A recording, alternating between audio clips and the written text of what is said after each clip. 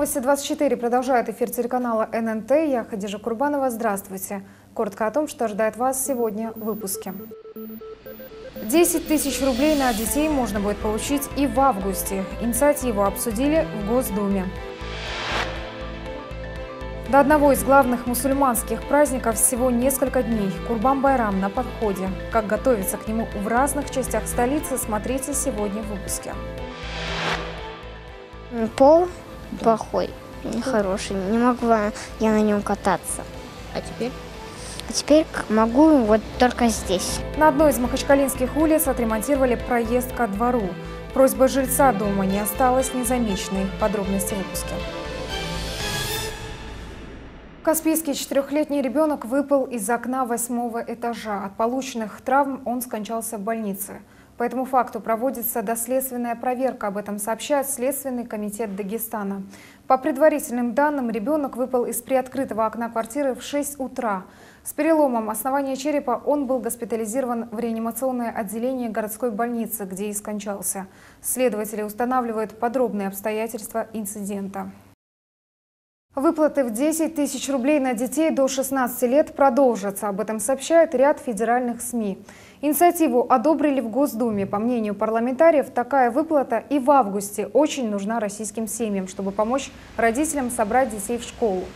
Кроме того, депутаты считают, что сама постановка вопроса о повторной раздаче денег вполне корректна, поскольку эпидемия коронавируса в стране еще не закончилась. На ряде предприятий по-прежнему действуют ограничения, а многие граждане все еще не нашли себе работу. С 1 августа работающим пенсионерам повысят пенсию в среднем всего на 279 рублей. Об этом сообщает отделение Пенсионного фонда по Республике Дагестан. Дополнительных заявлений писать не нужно, перерасчет произведут автоматически. Пенсия будет индексирована 125 тысячам работающих пенсионеров. Повышение распространяется только на официально устроенных пенсионеров и индивидуальных предпринимателей, то есть тех, кто платит страховые взносы. Считанные дни остаются до праздника Курбан-Байрам. В республике идут подготовительные работы к празднеству. И главный вопрос, конечно же, где можно будет провести обряд жертвоприношения в Махачкале. Муфтиат республики отвел для этого в пригороде столицы две площадки в районе бывшего ипподрома, а также возле торгового дома Киргу, где и побывал наш корреспондент Хамза Нурмагомедов. На сегодняшний день здесь установлено 70 загонов. Каждая из них будет по 100 голов. А на этом месте пройдет сам процесс закалывания жертвного животного. Буквально в двух метрах пройдет разделка туши. Весь процесс жертвоприношения за одного человека займет около 30-40 минут. Стоимость одного жертвенного животного в этом году, по словам организаторов, ориентировочно составит от 6-7 тысяч рублей и выше. А услуги специалиста по забою и работа по разделке туши и распределению мяса по пакетам обойдется верующему всего лишь в 500 рублей. Полностью от начала до конца, от закалывания, и будут люди, которые будут помогать, э, как с правильным намерением прочитать, какую молитву прочитать, будут специальные подготовленные люди, студенты, муталимы. Это все ему подскажут. Человек разделает полностью мясо, если желают полностью в пакеты, и здесь тоже предоставляются пакеты, завернуть в пакеты, забрать с собой. И если есть желание оставить здесь же на месте, для малоимущих тоже оставить. Таким образом, забирает свое место, садится на машину спокойно уезжает. Даже без э, не руки, спокойно он может эту всю процедуру делать очень легко. На пунктах забоя будут обустроены стоянки для машин и места для молитвы. Организуют также бесплатное горячее питание и напитки.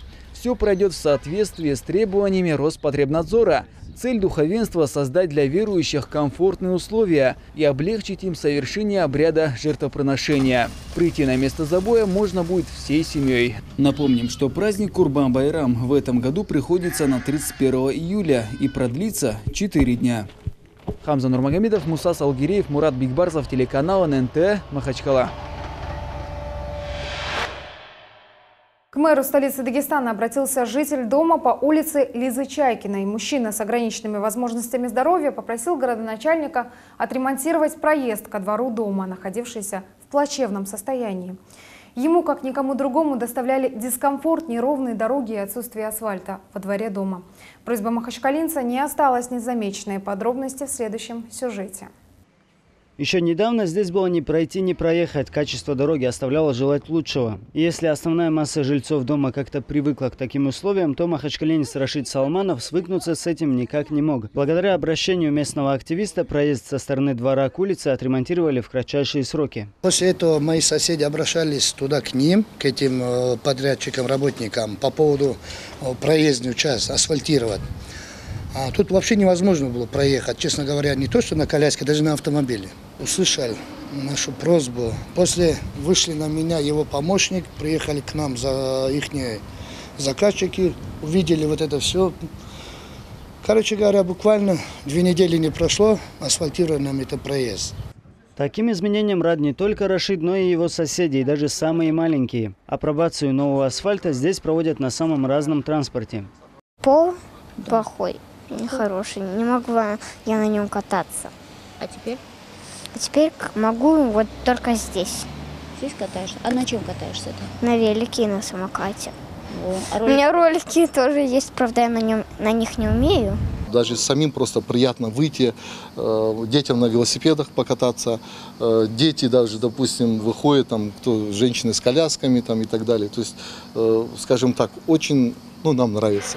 Большие проблемы местные жители испытывали не только из-за подъездной дороги, но и из-за качества дорожного полотна на самой улице. Трудно было проехать даже автомобилистам. Сейчас же всю улицу имени Лизы Чайкиной ремонтируют в рамках проекта «Улица Победы». Большая проблема – это ширина улицы, машины негде было парковаться. 30-я маршрутка, моя любимая, не могла туда там проехать. Сейчас нормально все.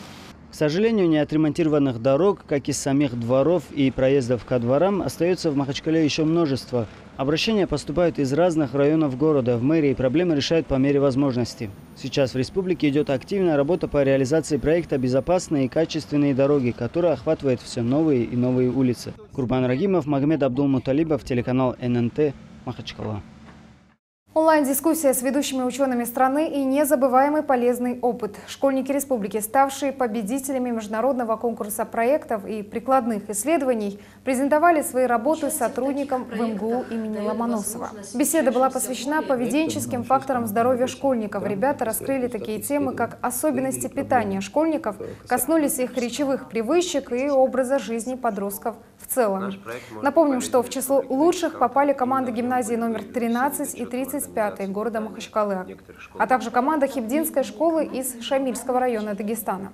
Организаторы высоко оценили подготовку ребят и сами проекты дагестанских школьников, которые, работая над этой темой, фактически приняли участие в разработке программы по сохранению и улучшению здоровья школьников страны.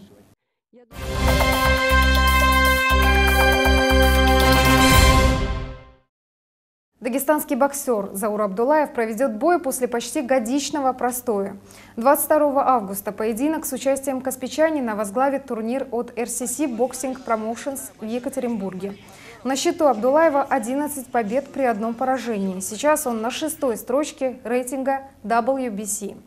Последний раз боксер дрался в сентябре прошлого года с американцем Дэвином Хейни.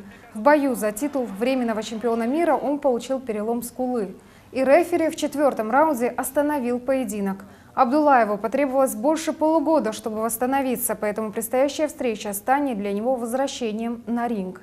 Соперником нашего спортсмена станет обладатель пояса чемпиона Евразии Павел Маликов. Турнир пройдет без зрителей на арене Академии единоборств РМК. Ну, это были все новости к этому часу. Еще больше информации вы можете отслеживать в наших социальных сетях. С вами была Хадижа Курбанова. До новых встреч!